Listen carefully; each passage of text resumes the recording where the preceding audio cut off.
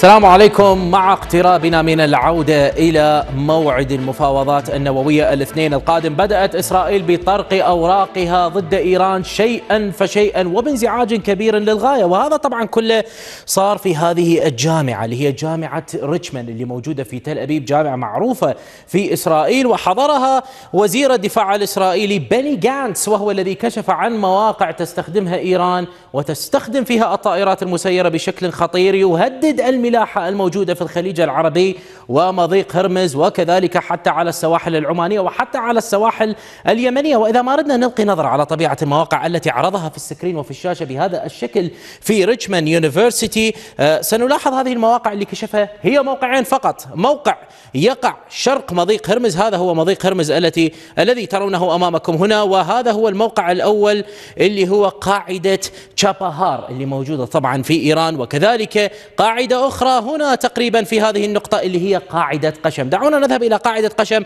ومن ثم نعود إلى قاعدة تشاباهار هذه القاعدة اللي موجودة اللي اسمها قاعدة قشم التي نتحدث عنها الآن. هي موجودة في جزيرة. هذه كلها هي عبارة عن جزيرة اسمها جزيرة قشم والقاعدة موجودة في هذه النقطة تقريبا وهي تبعد عن مضيق هرمز عبارة عن 50 كيلومتر هذه المسافة اللي نشوفها وطبعا هذه تعتبر على بوابة مضيق هرمز معناتها أي ناقلة أي سفينة تدخل هي في الوجه وفيها طائرات مسيرة. سنرى من خلال التقرير الذي عرضه بني جانتس بكل تأكيد وإذا ما اجينا حتى نشوف هذا الموقع فالموقع واضح أمامكم بهذه الصورة بطبيعة أن هنالك فعلا مدرج بهذا الشكل مدرج بسيط. لا تبدو هذه القاعدة قاعدة كبيرة ولكن واضح هي على المياه مباشرة. والآن دعونا نقترب بشكل أكبر حتى نلاحظ آه، طبيعة هذه المباني وطبيعة ما هو موجود والملاحظات التي أخذت. الملاحظات اللي أخذوها الإسرائيليين على هذا الأساس وعلى الطائرات المسيرة هم لاحظوها بأنها موجودة في هذه النقطة تقريبا في هذه النقطة تقريبا كذلك وعلى طول هذا المدرج. دعونا ننظر إلى السلايد اللي عرضه بني جانتس على هذا الأساس وحتى نشوف آه هذه الطائرات المسيرة التي تحدث عنها هذه هي البنايات التي تحدثنا عنها وهذه النقطتين اللي هو أشرها بالسلايد باللون الأحمر وباللون الوردي. باللون الأحمر يوضح بأن هنالك سيارات وشاحنات هي التي تعتبر حاملة. هنا الشاحنة بهذا الاتجاه تقريبا والطائرات تبدو بهذا الشكل طبعا بهذا الشكل المثلث على هذا الأساس بحسب الأقمار الصناعية اللي هي طبعا الإسرائيلية اللي استخدموها وبالتالي هم يقولون بأن هذه الشاحنات هي تحمل الطائرات المسيرة والطائرات المسيرة من خلالها تنطلق وعينوا عدد من النقاط اللي هي موجودة بهذا الاتجاه وبهذا الاتجاه موزعة طبعا على هذه القاعدة على المياه وهي مستعدة لإطلاق هذه الطائرات وخلق الخطر أو ضرب أي طرف أو ناقلة معينة إذا كانت للولايات المتحدة الأمريكية أو لإسرائيل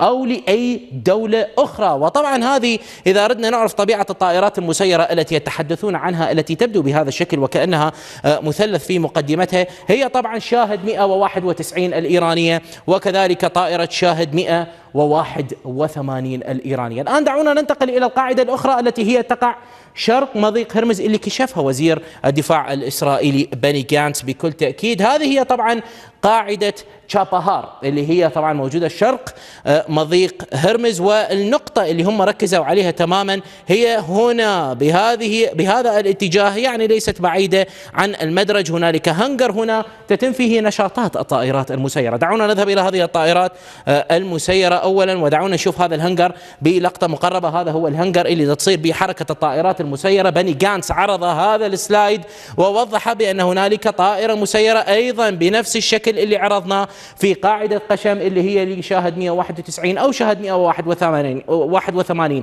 هي اثنينها عندها نفس الشكل. ولكن من خلال البحث في هذا البرنامج لاحظنا بأن هنالك تحركات لطائرات مسيرة أكبر من الشاهد 181 أو حتى آه، شاهد 191 إذا ما عدنا إلى شهر 6 2020 سنلاحظ بأن هنالك طائرة مسيرة هنا كبيرة إيرانية تدخل إلى الهنجر بهذا الاتجاه. هنالك صورة أوضح لطبيعة هذه الطائرة ونوعية هذه الطائرة. إذا ما عدنا إلى شهر 4 2020 هذه شهر 6 2020 دعونا نعود إلى شهر 4 2020 وسنلاحظ هذه الطائرة المسيرة كبيرة. شوف يعني نسبيا كبيرة بالنسبة لي شاهد 181 أو شاهد 191 ولديها أيضا مديات عالية للغاية. سنتعرف عليها. دعونا نقترب ونأخذ صورة مقربة لهذه الطائرة وبهذا الشكل طبعا ظهرت الطائرة بالرادارات طبعا وبالأقمار الصناعية. وهذه الطائرة للي ما يعرف هي عبارة عن طائرة معروفة في إيران اللي هي شاهد 129 وهذه مداها يوصل إلى 1700 كيلومتر وتستطيع من الطيران بسرعة 150 كيلومتر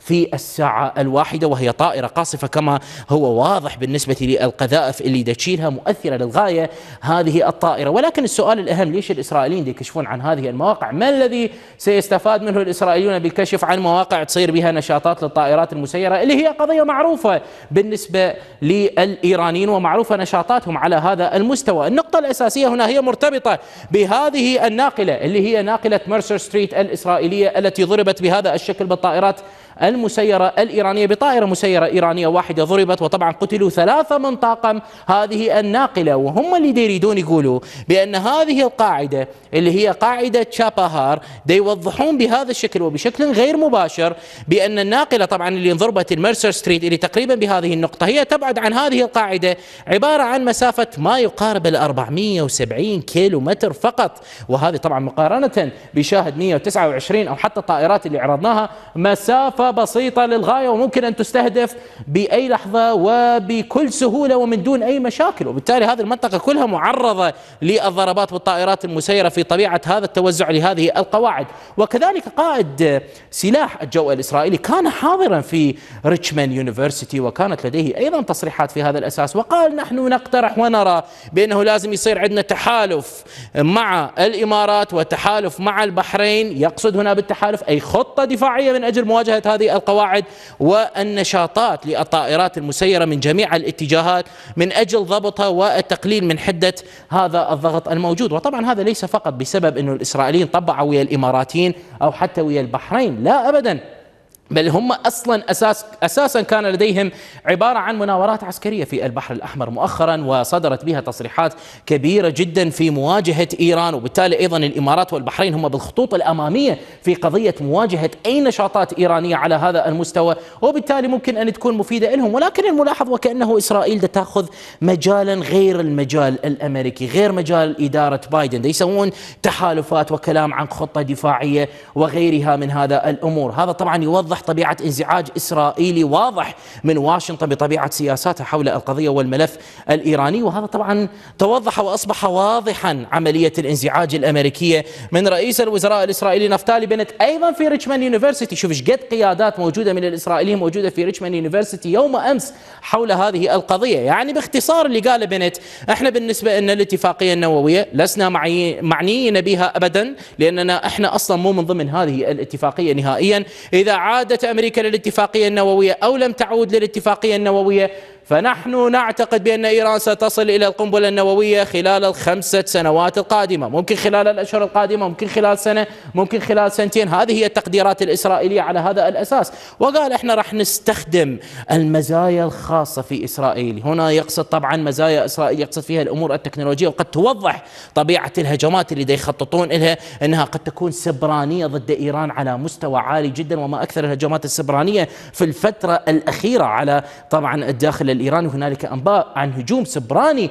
اليوم أعلن عنه عن هجوم على سدود للمياه موجودة على الداخل الإيراني. أنباء كثيرة على هذا الموضوع. وبالتالي هذه تأتي طبعا بعد ما تحدث به آه، نفتالي بنت يوم أمس والتصريحات التي جاءت من وزير الدفاع الإسرائيلي. وكذلك هنالك أمر ذكر حول الولايات المتحدة الأمريكية وقال إحنا ممكن أن نختلف مع أعز أصدقائنا ومع أفضل أصدقائنا في القضايا المتعلقة في الملف النووي. في إشارة واضحة جدا. إلى الولايات المتحدة الأمريكية. هذا الانزعاج الإسرائيلي وسبب الانزعاج الإسرائيلي من الولايات المتحدة الأمريكية. هو يأتي بعد 72 ساعة من هذا التقرير الذي نشر من نيويورك تايمز التي وضحت بأن المسؤولين الأمريكيين أبلغوا الإسرائيليين لا تستهدفوا المنشآت النووية الإيرانية الآن لأنها لن تنفعكم وستتقدم إيران. قد تصل إلى القنبلة النووية وتخرب علينا. قضية الاتفاقية النووية والمفاوضات النووية. والمشكلة بالنسبة لإدارة بايدن هذا بالضبط وبالتأكيد هو يضع الضغط ضغطا. هذه التحركات الإسرائيلية والكلام الذي صدر يوم أمس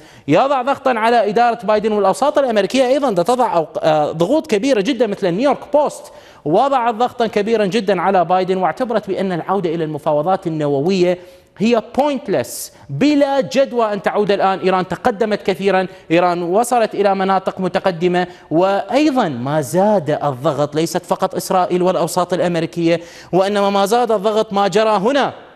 في زيارة رافائيل جروسي آه، مدير الوكالة الدولية للطاقة الذرية إلى إيران على أساس أنه تكون هنالك مناقشات ونقاشات معمقة مع الإيرانيين وأن يصلون إلى اتفاق ممكن أن يعتبر بانفراجة قبل الاثنين القادم اللي راح تبدي به المفاوضات النووية في يوم 29 11 2021 ولكن المفاجأة كانت بأنه الإيرانيين فرضوا شرط عليه قالوا له تريد ترجع إلى هذا المصنع مصنع كرج اللي استهدفوه الموساد في منتصف عام 2021 ضربوا هذه النقطة كانت هنالك عبوة مزروعة مزروعة في طرف في الطرف تقريبا بهذا الاتجاه من هذا المصنع اللي يصنعون به أجهزة الطرد المركزية المصنع الوحيد لأجهزة الطرد المركزية في إيران. وانفجر بهذا الشكل طبعا آه، بها كاميرات الوكالة الدولية للطاقة الذرية. فرافائيل جروسي يريد يرجع الكاميرات في هذا المصنع ولكن المفاجأة الإيرانيين وضعوا عليه شرط أجبر رافائيل جروسي على رفض أي عملية اتفاق مع الإيرانيين وغادر إيران مباشرة وكشفت هذه التفاصيل اليوم الول ستريت جورنال